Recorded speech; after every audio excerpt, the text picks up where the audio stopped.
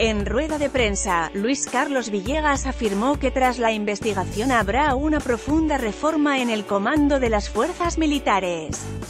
Mindefensa confirma denuncias de semana y anuncia eliminación de unidades de inteligencia en las FFMM. Últimas noticias portada para tomar decisiones en el Consejo Nacional Electoral son necesarios seis de los nueve votos. Cinco de esos votos ya están listos contra la posibilidad de que exista una candidatura viable de centro. La determinación del Consejo Nacional Electoral no será jurídica, sino exclusivamente política.